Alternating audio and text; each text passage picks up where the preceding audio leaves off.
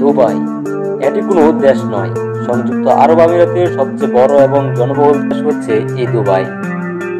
উঁচু উঁচু বিল্ডিং, কৃত্রিম দ্বীপ নামি দামি গাড়ি গাড়ি এবং বিলাসবহুল ও অদ্ভুত জীবনযাপনের জন্য বিখ্যাত এই শহর।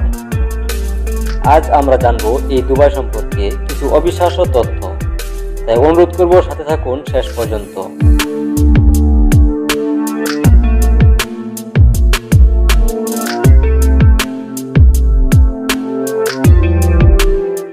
আচ্ছা আমরা দুবাই নামটা শুনলে কল্পনায় যেমন চকচকে এক শহরের কথা ভাবি। এই দুবাই শহরটি উনিশশো সত্তর সালেও ছিল ধুধু মরুভূমি আর খুব সাধারণ জেলে পরিবার। পর্যটনকে কেন্দ্র করে খুব অল্প সময়ে নামি দামি শহরের হিসেবে গড়ে ওঠা বাসিন্দাদের প্রতি পাঁচজনের মধ্যে হাই লেভেলের কোটিপতি আছেন একজন। আরাম আয়েসে বসবাস করতে এবং টাকা ওড়াতে দুবাইয়ের আমিরাতিদের জুড়ি মেলা ভার এই শহরের রাস্তায় হরহামেশায় চোখে পড়ে Rolls Royce Aston Martin, Lamborghini সহ পৃথিবীর সেরা নামি দামি গাড়িগুলো এবং সুপারকারগুলো। যে গাড়িগুলো সাধারণত অন্য সব দেশে তেমন একটা চোখেই পড়ে না। আর মজার ব্যাপার হলো, দুবাই পুলিশরাও ব্যবহার করে থাকেন রোলস রয়্যালসের মতো নামি দামি ব্র্যান্ডের গাড়িগুলো। দশ থেকে একশো কোটি টাকা কিংবা তার অধিক দামের সুপার কার বা গাড়িগুলোর অন্যতম বাজার হলো দুবাই। কিংবা বিশ্বে যত নামি দামি লোক আছেন, সবারই কম বেশি হলো গাড়ি, বাড়ি কিংবা সম্পদ আদি রয়েছে এই দুবাইয়ে। একমাত্র দুবাইয়ের রাস্তায় কোটি টাকা দামের এই গাড়িগুলোতে কখনো কখনো দেখা যায় বাঘ, সিংহ কিংবা শিম্পাঞ্জিদেরও। আমরা যেমন শখের বসে কুকুর, বিড়াল পুষে থাকি, তেমনি দুবাইয়ের কোটিপতিরা পুষে থাকেন বাঘ, সিংহ কিংবা শিম্পাঞ্জির মতো ভয়ানক হিংস্র প্রজাতির প্রাণীগুলো।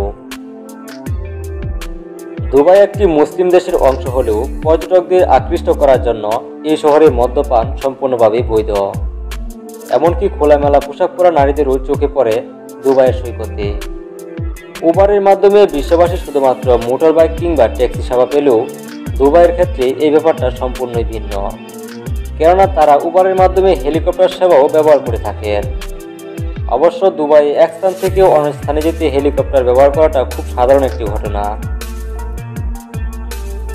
এমনকি বর্তমানে দুবাইয়ে চালু হয়েছে চালকবিহীন ড্রোন ট্যাক্সি সার্ভিস। দুবাইয়ের বিমানবন্দর পৃথিবীর বৃহত্তম ও অত্যন্ত ব্যস্ততম বিমানবন্দর। দুবাইয়ের মোট আয়ের পনেরো শতাংশই আসে এই বিমানবন্দর থেকে। প্রতিদিন এখানে প্রায় দশ হাজার বিমান উঠানামা করে, আর প্রতি বছর প্রায় নয় কোটি যাত্রী এই বিমানবন্দর ব্যবহার করে থাকেন, যা আমাদের বাংলাদেশের জনসংখ্যার প্রায় অর্ধেক। ঝকঝকে আর চকচক করা আকাশচুম্বী এই শহরের বিলাসবহুল বিল্ডিংগুলো নির্মাণে মিশে আছে বহু বাংলাদেশি প্রবাসী শ্রমিক ভাইদের গাম এমনকি রক্ত। এই দুবাই থেকে আয় হয় বাংলাদেশের সর্বোচ্চ পরিমাণ বৈদেশিক মুদ্রা। বাংলাদেশ ব্যাংকের তথ্য অনুযায়ী সংযুক্ত আরব আমিরাত থেকে দুই হাজার সতেরো আঠারো অর্থ বছরে প্রায় দুই লাখ উনিশ হাজার কোটি টাকার সমপরিমাণ বৈদেশিক মুদ্রা আয় করেছে বাংলাদেশ। পৃথিবীর অনেক বড় শহরের মতোই জলপথকে কেন্দ্র করে গড়ে উঠেছে দুবাই। চলুন জানি দুবাইয়ের আসল কাহিনী। পারস্য উপসাগরে অবস্থিত এই শহরটিকে পৃথক করেছে দুবাই খাল। খালের এক পাশে দেরা দুবাই আর অন্য পাশে বার দুবাই অবস্থিত। দেরা দুবাই হলো অত্যাধুনিক আকাশচুম্বী অট্টালিকার শহর, যেটাকে আমরা দুবাই হিসেবে জানি কিন্তু খালের ওপারের বার দুবাই এখনও ধারণ করে আছে দুবাইয়ের প্রাচীন ঐতিহ্য ও সংস্কৃতি।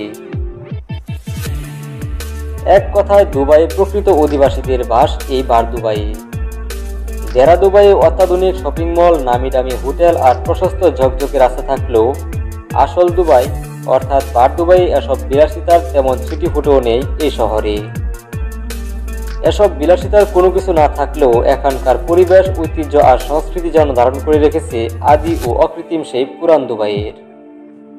প্রকৃত ও সত্যিকারের দুবাইকে দেখতে হলে আসতে হবে আপনাকে এই বার দুবাইয়ে। তো আজকের মতো দুবাইকে নিয়ে বানানো এই ভিডিওটি এখানেই শেষ করলাম। ভিডিওটি ভালো লাগলে লাইক, কমেন্ট আর শেয়ার করুন। এবং সাবস্ক্রাইব করতে ভুলবেন না। ধন্যবাদ, শেষ পর্যন্ত সাথে থাকার জন্য।